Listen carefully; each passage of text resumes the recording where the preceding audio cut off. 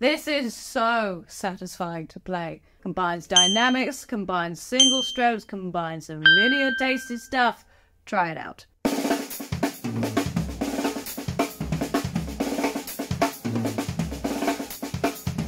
First, we got a ruff. Just four single strokes, but 30 second notes. Followed by a right left, accent that right. And then there's a group of three, at least that's how I think of it. So we've got right, ghost note with the left on the snare drum and a kick.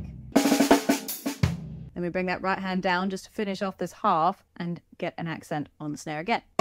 Let's move on to the second half. Left, right, right, left, left, kick, right.